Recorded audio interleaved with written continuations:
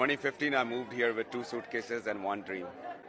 And I'm happy that finally this brown skin is getting recognized. First ever Punjabi act to perform at the Junos, global phenom, AP Dhillon.